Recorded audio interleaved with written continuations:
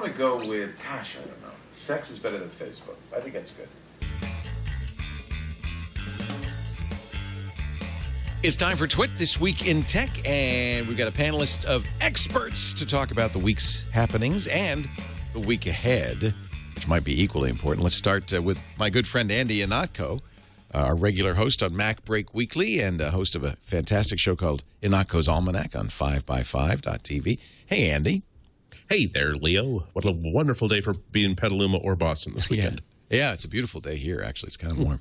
He also writes sometimes for Sun Times. the Chicago Several Sun times, several times. See, if there, if there's first of all, the, the, as as newspapers go, the Chicago Sun Times is in very very good financial footing. But if there's another extra little uh, way, reason why they're never going to drop their seven day a week schedule, they know that every single headline will be, oh, now it's the Chicago sometimes Ooh. as they drop to five times a week. Like, You oh, can't do it. Can't really do had it. to go there. Also, on his yearly visit to Twit, Jeff Cannata is uh, here. We talk to him every week, every year after E3. We got to do this more often. Jeff Cannata, of course, the host of the Totally Rad Show on uh, Revision 3, and uh, just a great guy all around. Nice to have you back, Jeff. Thank you very much, Leo. It's great to be here. So uh, there really are there's you know two big things in you know to talk about this week. One is E3, which wrapped up this week, and the other is tomorrow's Worldwide Developers Conference. Apple has a big show. In fact, their last big show. Um, they, they only do one a year now, and uh, all the rumors in, indicate that there are going to be some big time announcements. All righty. So, if uh, anybody wants pictures, we can uh, do that. I'll post for pictures. I'm gonna go get the hats. and uh, All right, Fraser, it's nice to see you again. That's quite all right. I'm gonna sneak around here. We got the hats, salad. You're first in line. So. Yeah. The salad. And the, the thing is, originally, uh, the whole world was basically uh, uh, having these these uh, dots. You were having lots of many Right, people in, right. in the United States. you have 114 friends. yeah. Wow. And the thing is, uh, I started out with just one group, but then I hit the limit. Uh, you, you Oh, that's interesting. I didn't even know there was a limit. there is 50 people you can have. 50? So I ended up with five groups now. There are two for America, one for South America, one for Europe. and basically, the thing that's cool here is But they're all coming, right? Colorado and Yeah. Germany, late Yeah. late ones, and now actually can we rotate this? Is it Yeah. a bit quicker? You, you can see how all the developers. Oh, that is so It's- it's cool. more like a, a statistical sample of Yeah. Some people are staying down there, but most people are in San Francisco.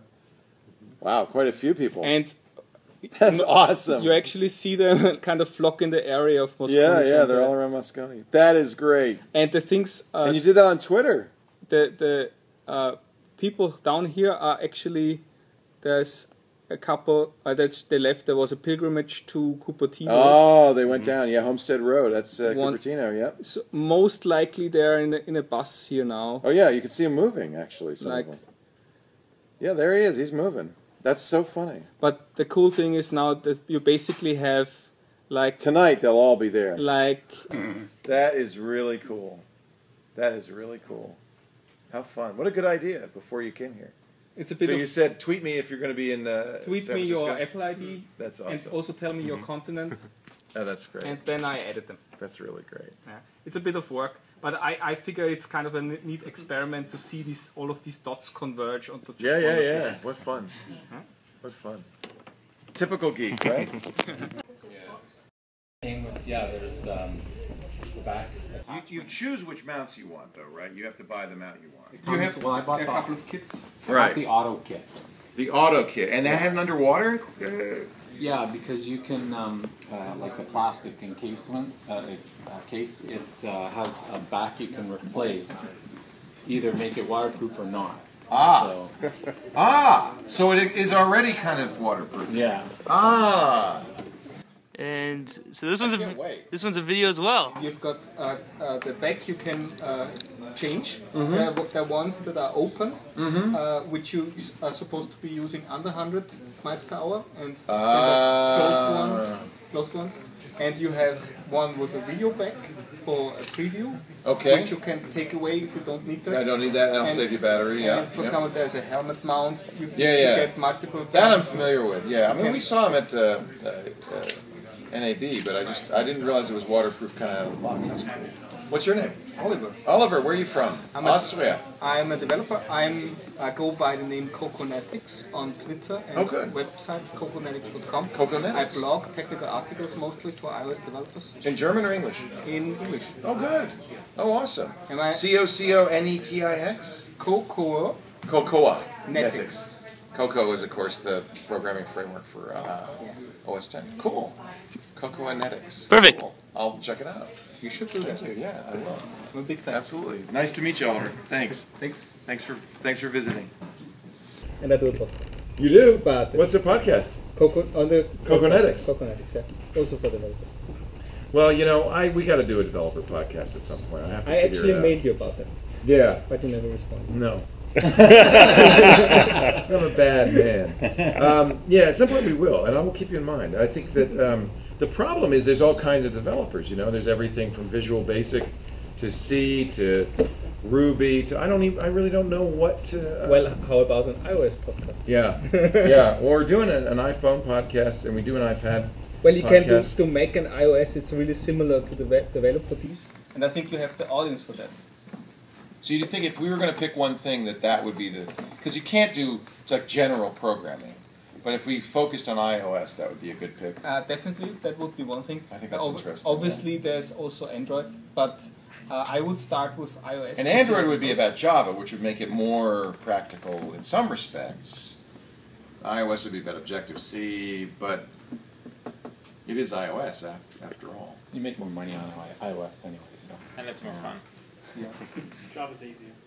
Wait, It's a, t- it's a tough one to think to know. I mean, that's the problem. That's why we haven't done a programming podcast. It's actually what I think what killed the gaming podcast, which is there's too many kinds of gamers and you can't get all of them, right? And I think it's the same thing with programmers. There's too many kinds of programmers, and if you're a C programmer, you're not going to, you know, be interested in a root. Well, maybe you would be. I don't know. I have to think Well, about it. just look look at uh, this other network there, uh, five by five. There, Yeah, yeah. Like the build and analyze. Right.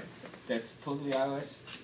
And the thing is, I don't ever talk it's, about it's the thing is, It's all about design, right? no, no, no. It's all it's a personality. personality-based show around Right. Marco.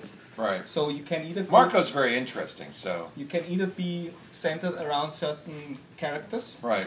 or you can do something that's more technical. Right. Well, we always said what we try to do is a little of both, which is have real quality personalities doing the show, but still try to stay technical if we can. So I'd like to do both, and that's actually the biggest challenge because there's lots of people who do who could do a programming show. Um, I don't know. I have to really think about it. I do want to do it. What I, one thing I was thinking of doing, and we were going to do this with Randall, is um, kind of like a learn to program podcast, where like uh, you know you start from scratch and you teach people how to program. Who's going to teach me Smalltalk, Mm-hmm. which I thought would be kind of interesting. Or maybe do a Lisp show. I'll do a Lisp show. that'll that'll bring them in. Fortran. All right. Anyway, nice to meet you, Oliver. I'll check it out. Cocoanetics. That's cool. Dinner and an API. We could do an API show. That'd be kind of interesting. What, what about, yeah, I don't know. Here you are. Thank you. And who's that? Well, Codecademy is the kind of, that's kind of what I was thinking, yeah. Okay. But it's Uh, not a podcast, it's just a, si- it's just a site. Um, I think that's probably all of the really important stories. Public transit in iOS 6. Actually, a really good post on Cocoanetics. And this guy actually was in our studio a couple of weeks ago because he was in town for WWDCs from Austria, in which he talks about the reason why you won't see public transit directions in iOS 6. Basically, Google got screwed by doing it in maps by the Austrian transit uh, companies. There's two of them that are kind of sort of privately owned, and both of them decided to to break the Google API, saying we've got our own apps, so we're not going to give you public transit in the Google Maps. And uh, and so uh, in this blog post, um, he's saying, and I think he's probably right, that it's just Apple's not going to do it because you can't guarantee the data will be there, and there's some good reason to think that it won't be there.